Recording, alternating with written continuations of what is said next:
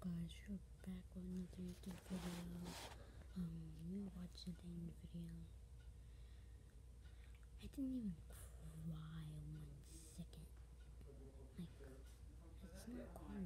Like, if he ever acts like that to you, that's how he is.